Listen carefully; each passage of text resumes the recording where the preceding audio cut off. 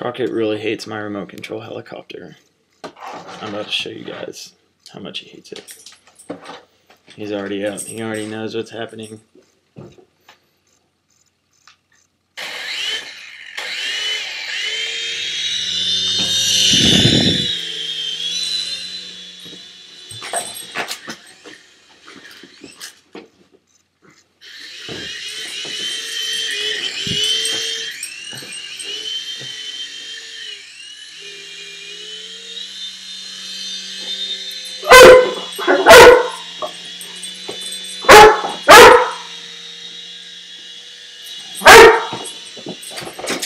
Sit.